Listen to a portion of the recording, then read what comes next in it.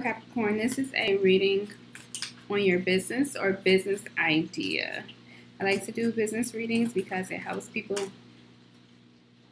I should have took that. It helps people succeed in their business or give insight and clarity on to, into what is ex exactly required to manifest um, success in your business. Or should you move on? Is it gonna work? Is it you know? I just like doing readings on businesses. So, what do we have here? Okay. And I'm going to pull some oracle for you as well, just to give me insight into what this reading is about. So far, we have the Five of Swords, which is competition. We have the Sun, we have the Lovers, we have the Four of Pentacles, the Five of Cups, two fives, um, and a ten with this ten of wands on the bottom of the deck. We have the page of swords and we have something happening very quickly with the eight of wands. I'm going to pull, all right, what was that? I'm going to pull oracle for you really quick. We got recovery. Hmm, interesting to see what that's about. So let me read these cards real quick so I can see what message it is that Spirit has for your business. And while I do that, I ask that you watch this quick video about the services that I provide to businesses to help them manifest success in whatever area they you desire. Be right back. I've manifested over $200,000 so far, but the most important thing that I've manifested is my connection with spirit. I have the ability to communicate with spirit guides. They give me strategy. They help me to attune to hurdles along the way, and they keep me on a straight path towards the manifestation of my goals and making sure that I, when I do something wrong, they let me know to keep me in the process of manifesting the desires of my heart. And I want to use my power, my connection with spirit to help you manifest your goals as well. If you want to manifest a new job, if you want to manifest a new car, if you want to manifest more money, if you want to manifest more life, a divine partner, a baby, whatever it is that you are yearning for, allow me to assist you and allow my spirit guides to assist you in your manifestation process by providing you with biweekly guidance and strategy towards the manifestation of your goals. I'm looking for 33 people to help, and if you feel like you're one of those 33 people, hit the link below. Thank you, good luck, and peace. What's up, Capricorn? So I read your cards, and I want to start with your Oracle card, Recovery.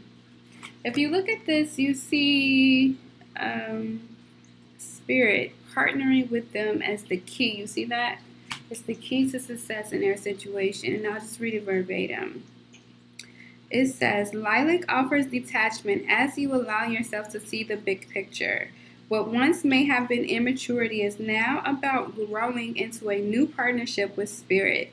Step back and allow the angels to bring healing to you. So um, that's kind of giving a clue into the theme of the reading. This is about, I mean, you have the Lover's card in here as well. So this is about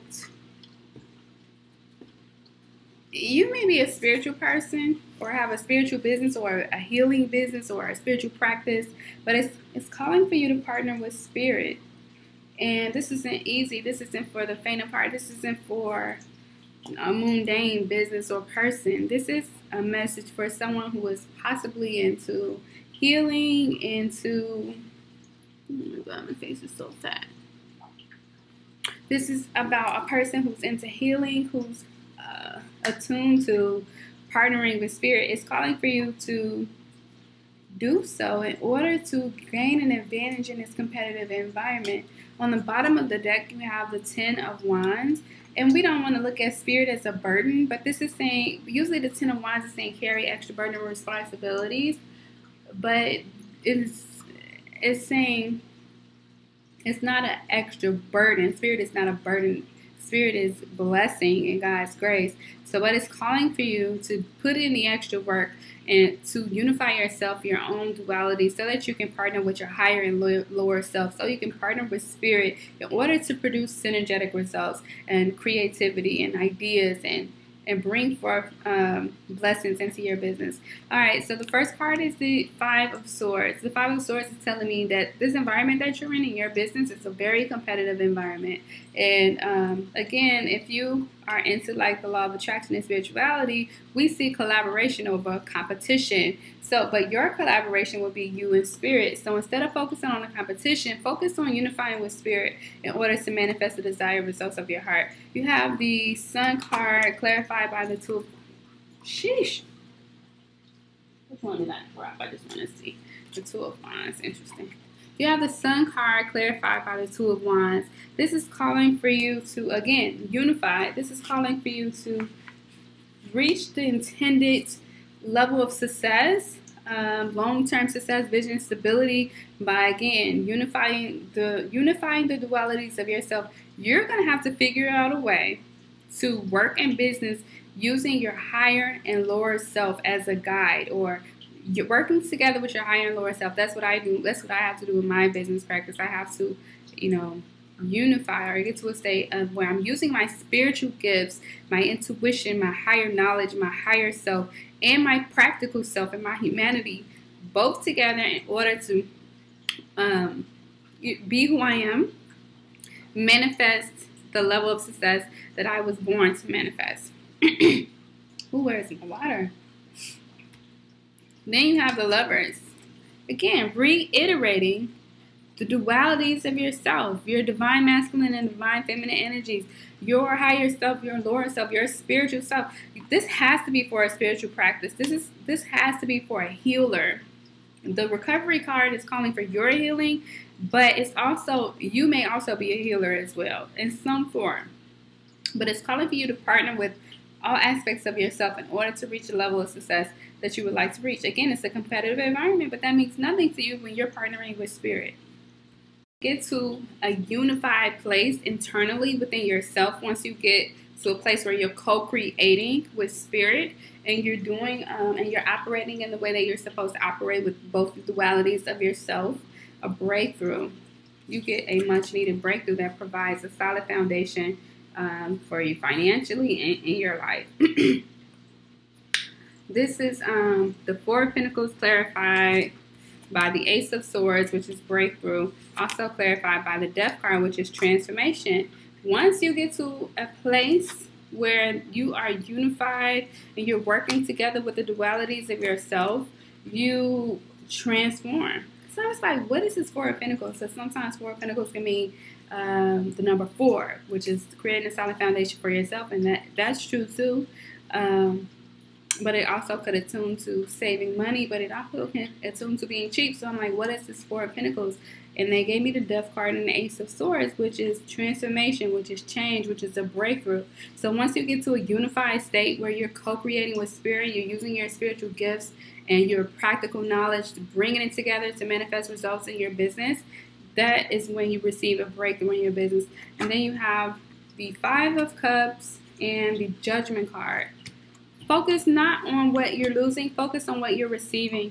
Focus not on the past, focus on the future and receiving. But the number five is the number of God's grace, and the judgment card coupled with the number of God's grace is meaning, listen, when you get to this place, when you bring it, when you first of all get yourself Cause, this could be for self practice. This doesn't seem this seem like a business, like a sole proprietorship that somebody is working on with themselves, that they're providing like a healing service or something like that.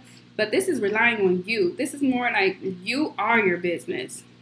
But when you get to a unified state where you're co-creating with spirit and you receive that transformation, that's when you you receive and you up level. That's when your business will be taken to the next level. And at that point, you have an influx of ideas. You receive synergetic results. You, you know, you're receiving from the divine because you're working with the divine. You're working with their divine self, and you're you're bringing it to practical in a practical way that would create stability in your life, create um, judgment, meaning receiving. You put yourself in a position to receive synergetically ideas, financially, st- stable stability, and you know there will be no competition for you because you're co-creating with spirit, and who could compete with spirit?